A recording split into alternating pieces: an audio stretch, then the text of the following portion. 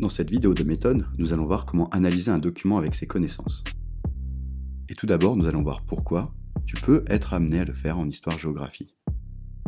Afin d'identifier un document, on peut te demander de le replacer dans son contexte. On pourra te demander de comparer un document avec les connaissances que tu as du sujet. Et ainsi pouvoir faire une critique du document, ou le compléter et l'expliquer avec d'autres informations. Alors, comment faire? Il faut déjà avoir ou trouver les connaissances. Dans le cadre d'une évaluation, il faut avoir appris les connaissances. Si tu as des difficultés avec cela, je t'invite à regarder la balise LEC. Dans le cadre d'un simple exercice, tu pourras rechercher les connaissances dans les leçons de ton cahier. Ou alors faire une recherche dans le manuel ou sur Internet. Pour terminer, nous allons voir quand utiliser ces connaissances dans l'analyse d'un document. Quand la consigne est explicite, c'est facile, il suffit de bien la lire.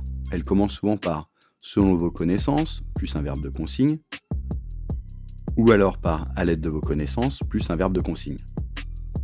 Mais il est plus difficile de savoir qu'il faut utiliser des connaissances quand la formulation de la consigne est implicite.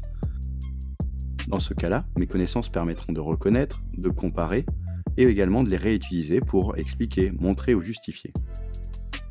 Voici un exemple avec cette consigne.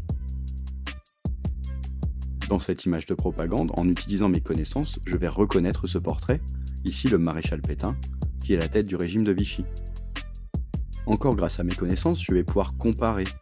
J'avais vu dans les chapitres précédents d'autres images de propagande.